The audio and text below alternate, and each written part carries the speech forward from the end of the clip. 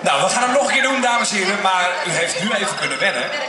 Maar voor de mensen die nieuw zijn, we gaan nu even voor echt. We gaan kei en keihard. Ik wil echt iedereen horen. Het enige wat we gaan zingen